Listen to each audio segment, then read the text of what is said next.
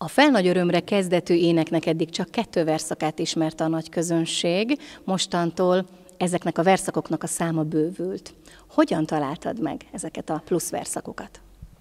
anyai nagynéném birtokában van egy imakönyv, amit 1873-ban nyomtak, és annak a hátsó lapjain egy öt verszakos felirat erről az énekről, tintaceruzával, kézírással, néhol egy kis helyesírási hibával, és ez úgy került bele, hogy a férjének a nagyapja, Szabó Mátyás, Tüskevári jó katolikus atyafi, ő volt, aki vitte a papot egyik faluból a másikra lovaskocsival, és nagyon megtetszett neki ez az ének, amikor hallotta, és bizonyára azért jegyezte oda le az utókornak. Hát még nem tudta, hogy milyen nagy dolgot mivel, mert végső soron ez a megtalálás ebbe az imakönyvbe, ez egy egyház zenetörténeti kuriózum, úgy vélem, hiszen 139 év után most a Tócsoki iskola, katolikus iskola gyermekei által hangozhatott fel ismét ez az ének, az öt verszak, amit Gárdonyi eleve írt.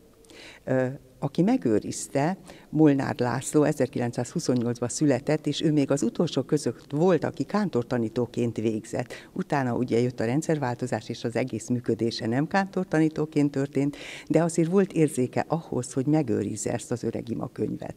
Gondolom, hogy több öreg imakönyv is lehetett, vagy lejegyezték benne, de ha általában meghalt valaki idős nagyszülő, hát mivel temették el? A legrégebbi, mondhatom a legértékesebb imakönyvvel. Ez örülni való, hogy ez nem került a föld alá egy koporsóba, hanem megmaradt. Azt jelenti akkor, hogy ez egy hiteles forrás, és akkor valószínű, hogy annak idején Gárdonyi Géza így írta meg ezt az éneket, csak ezek a verszakok valahogy elvesztek az idő folyamán?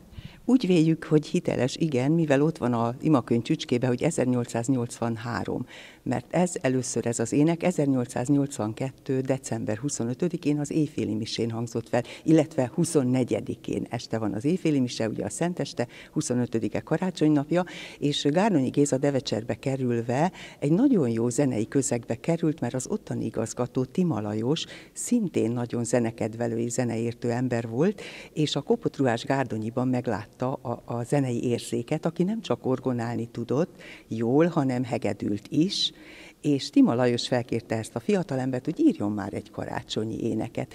Molnár László felhívta a figyelmemet arra, hogy úgy volt először a szöveg, hogy föld nagy örömre most született, tehát a föld népét felszólította arra, hogy örüljünk mindannyian, de ugye az éneklés nem nagyon szereti a mással hangzókat, és lekopott az a D, és lett belőle föl nagy örömre ma született. Hát igazából tartalomban nem változott, de mégis az eredeti a kép szól, ahogy a gyerekek felénekelték. Tehát ez mint mondtam, hogy zenetörténeti, egyház zenetörténeti érdekesség, ami most történt itt a Szent István templomba Tósokon. Végig jelen voltál a felvételen, ahol a gyerekek elénekelték ezt a dalt. Mennyire vagy elégedett?